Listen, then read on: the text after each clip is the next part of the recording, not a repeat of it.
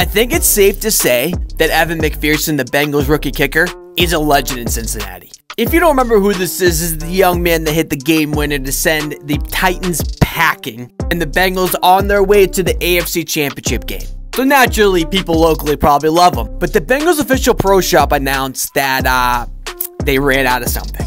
Please pass the word. There are no McPherson jerseys now or anytime soon. There are no men's jerseys blanks anywhere for a few weeks. Customs are four weeks. No one was prepared for this.